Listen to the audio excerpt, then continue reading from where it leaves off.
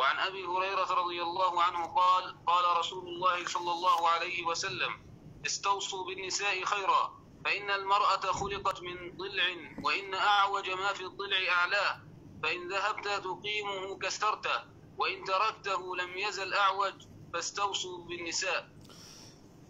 وفي رواية إن المرأة خلقت من ضلع لن تستقيم لك على طريقة فإن استمتعت بها استمتعت بها وفيها عوج.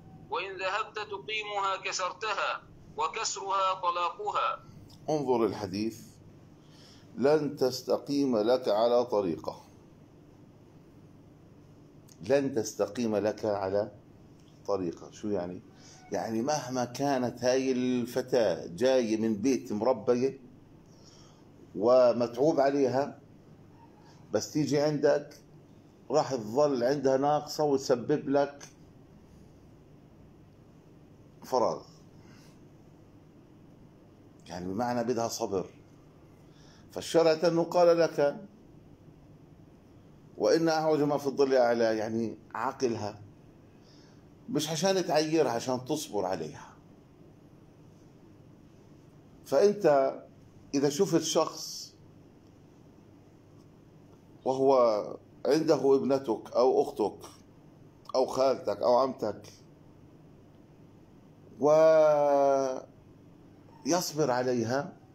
فقل جزاك الله خيرا على الأقل ادعو له بظهر الغيب.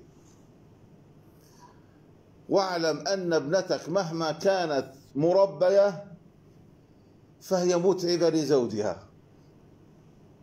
فهي متعبة لزوجها. أنا بنتي؟ أنا بنتي ما في زيها. هذا أب فاشل. شو بنتك ما في زيها؟ من اللي بتحمل لك إياها الله يجزيه الخير. صابر عليها. لكن هكذا طبيعة النساء. وبالتالي المرأة اللي بقول لك أنا مرتي ما بتغلط معناته عفوا بجوز هاي مش امرأة. تأكدت إن زوجتك امرأة؟ أكيد. لا لا مرتي بتغلطش. معناته أنت بتحكي في امرأة جاية من المريخ.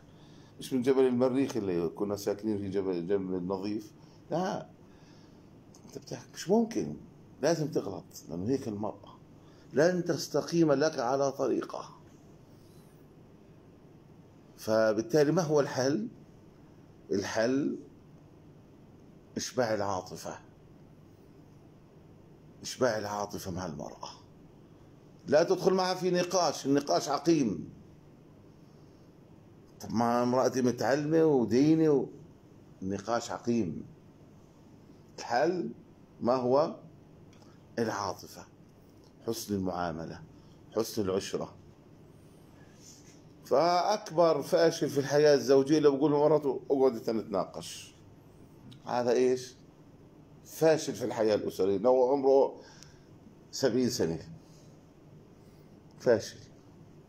الحل إشباع العاطفة. فمن أكبر حلول المشاكل الأسرية إنك تأخذ مراتك على مطعم. مغلبيتك في هالدار وكذا شيء أهرب. كما فعل علي رضي الله عنه. بعدين يعني تعالي والله حاب إن نأكل مع بعض في مطعم بعوضك ربنا بهالثلاث ليرات أنت بدك تأخذ على مطعم أبو 70 ليرة؟ أبو الثلاث ليرات بوسط البلد. خذها على مطعم ثلاث ليرات وإذا بعزقت بخمس ليرات.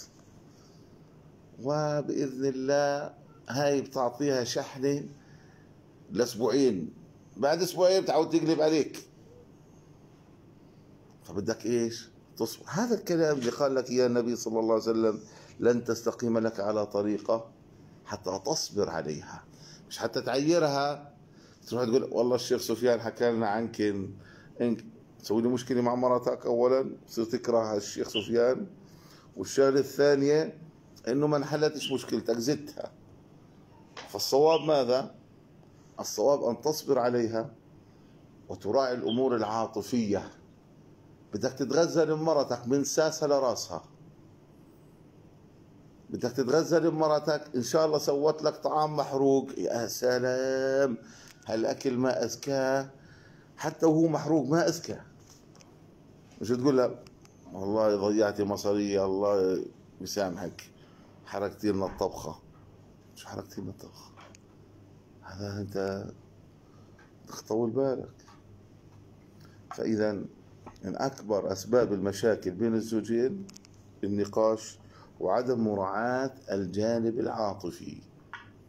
الجانب العاطفي.